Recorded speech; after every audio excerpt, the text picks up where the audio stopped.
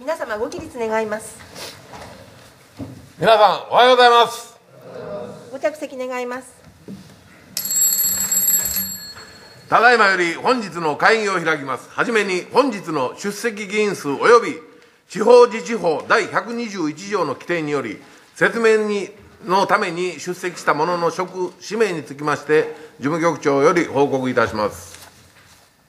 ご報告申し上げます。まず本日の出席議員数についてでありますが、本日ただいまの出席議員数は20名全員であります。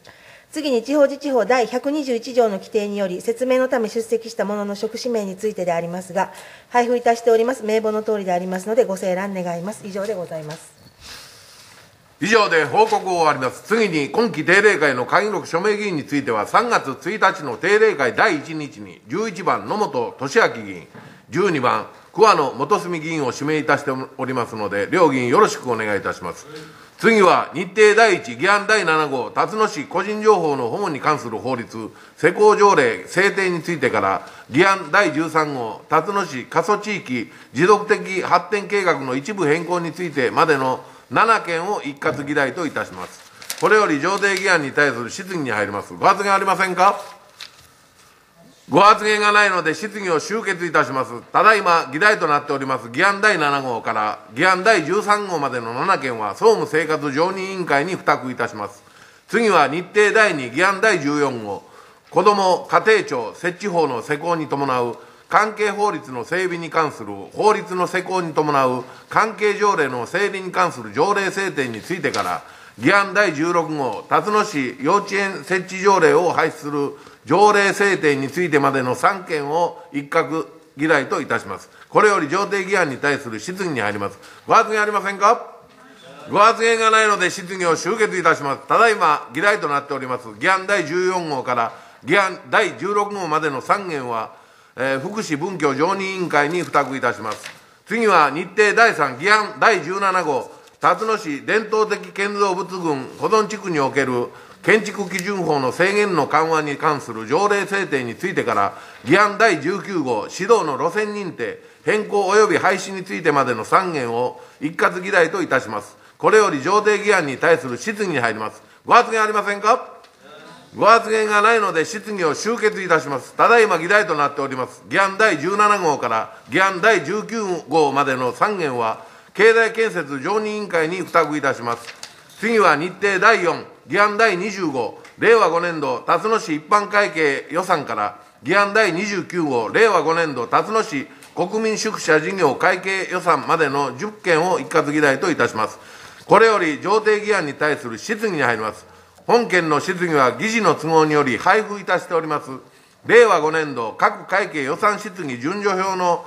えー、質疑順により分割して進めてまいります。なお、申し合わせにより、自己の所属する予算決算特別委員会分科会の所管事項につきましては、所属分科会で質疑していただき、この場では質疑を控えていただきますとともに、会議規則の規定により、質疑に際しては、自己の意見を述べることができないことになっておりますので、この点についても発言にご留意をお願いいたします。また、質疑の際には、予算書、予算参考資料ペのページ、および観光目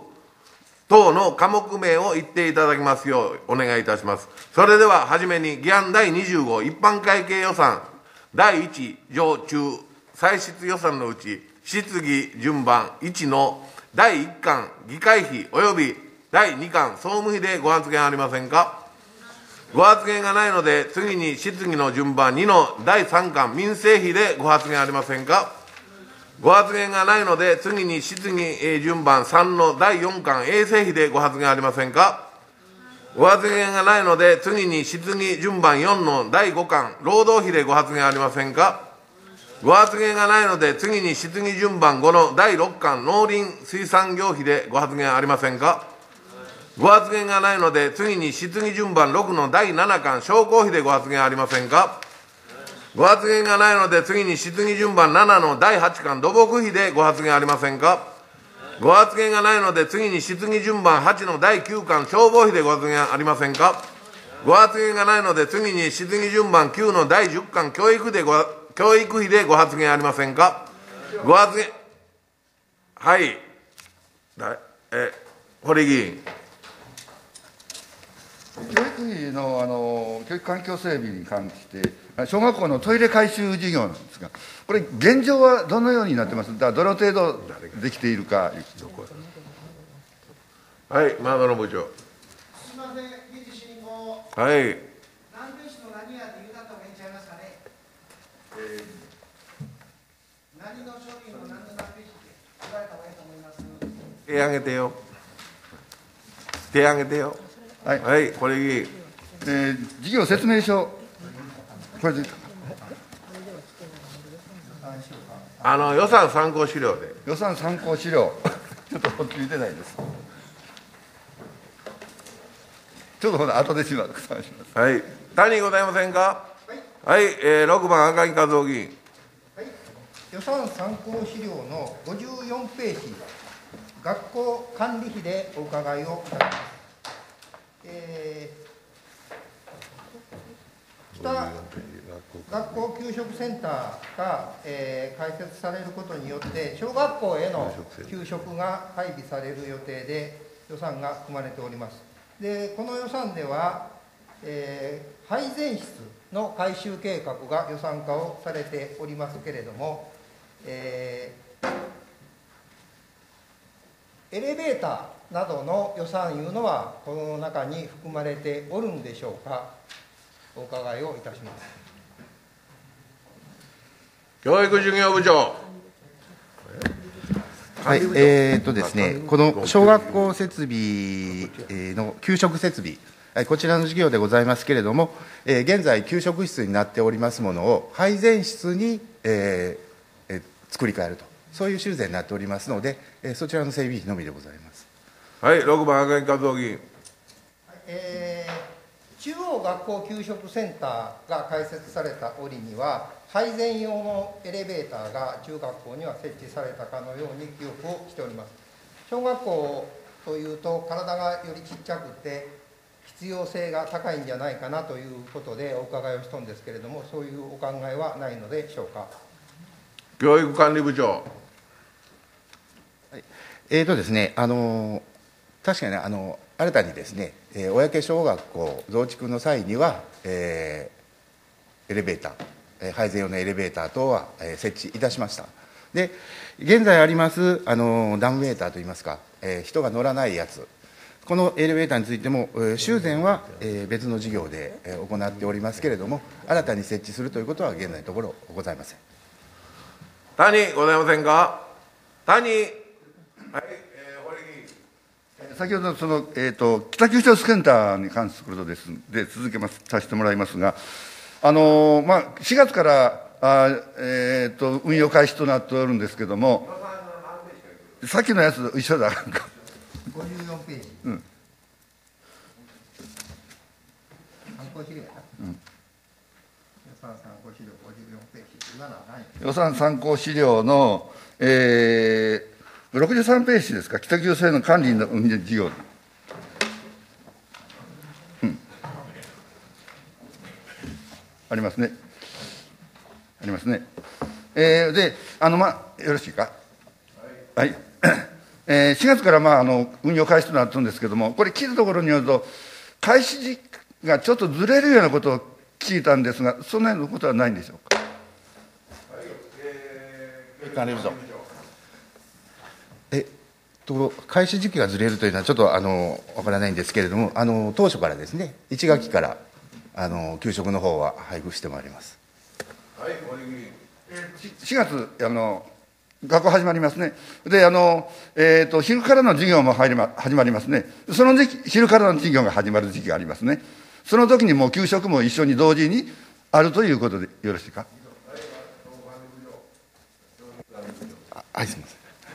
はい、あの給食が始まる時期からあのきちっとあのはいやります。他にございませんか？えー、他にご発言がないので、次に質疑順番10の第12巻、交際費から第14巻予備費までの間でご発言ありませんか？ご発言がないので、えー次に順番、えー質疑順番11の一般会計予算の歳入で第1巻、市税から第22巻、司祭までの間でご発言ありませんか？ご発言がないので、次に質疑順番12の一般会計予算第2条債務負担行為から第5条歳出予算の流用までの間でご発言ありませんか？ご発言がないので、これで議案第25一般会計予算の質疑を終わり、次に特別会計予算に入ります。質疑順番13の議案第21号、土地習得造成事業特別会計予算及び議案第22号、遺留公平委員会事業特別会計予算の2件についてご発言ありませんか？ご発言がないので、次に質疑順番14の議案第23号国民健康保険事業特別会計予算及び議案第24号後期高齢者医療。事業特別会計予算の 2, 2件についてご発言ありませんか？ご発言がないので、次に質疑順番15の議案第25号介護保険事業特別会計予算及び議案第26号病院事業再、えー病院事業債管理事業特別会計予算の2件についてご発言ありませんか？ご発言がないので、これで特別会計予算の質疑を終わり、次に企業会計予算に入ります。質疑順番16の議案第27号、水道事業会計予算についてご発言ありませんか？